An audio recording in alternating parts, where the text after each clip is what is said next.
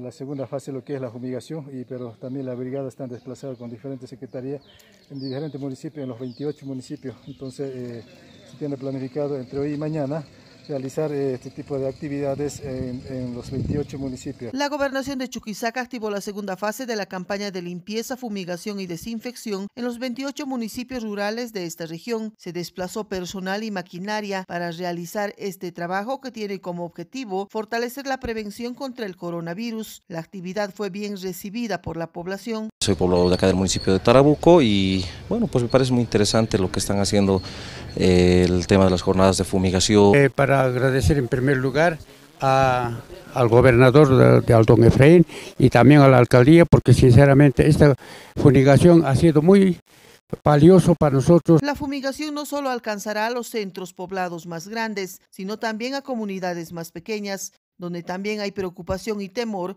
a que esta pandemia los alcance. A los, a los pueblitos más eh, pequeños eh, eh, se les va a dejar producto a los municipios para que vayan haciendo paulatinamente.